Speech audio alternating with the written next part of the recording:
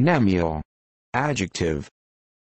1. Anatomy, relating to the shin bone, or tibia. For example, some birds and reptiles have a cnemial crest.